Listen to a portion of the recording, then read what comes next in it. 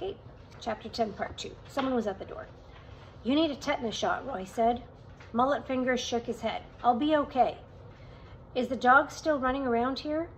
The boy turned inquiringly to Beatrice, who said, Go ahead and tell him. Are you sure? Yeah, he's all right. She shot an appraising glance at Roy.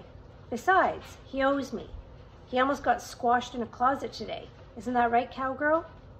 Roy's cheeks flushed. Never mind that. What about this dog? Actually, there were four of them, Mullet Fingers said, behind a chain fence. So how'd you get bit? Roy asked. My arm got stuck.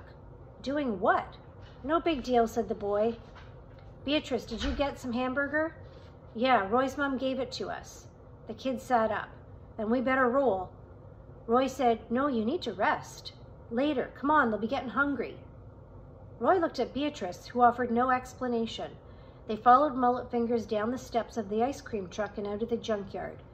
Meet you there, he said, and broke into a full run. Roy couldn't imagine the strength it must have taken, considering his painful injury. As Mullet Fingers scampered off, Roy noticed with some satisfaction that he was wearing shoes, the same sneakers Roy had brought him. Beatrice mounted the bicycle and pointed at, at the handlebars and said, Hop aboard. No way, Roy said. Don't be a wuss. Hey, I don't want any part of this, not if he's going to hurt those dogs. What are you talking about? Well, that's what he wanted the meat for, right? Roy thought he'd figured it out. He thought the kid meant to take revenge on the dogs by spiking the hamburger with something harmful, maybe even poisonous. Beatrice laughed and rolled her eyes. He's not that kind of crazy. Now let's go. Fifteen minutes later, Roy found himself on East Oriole Avenue, at the same trailer where the foreman had hollered at him a few days before. It was nearly five o'clock, and the construction site looked deserted. Roy noticed that a chain link fence had been erected to enclose the lot.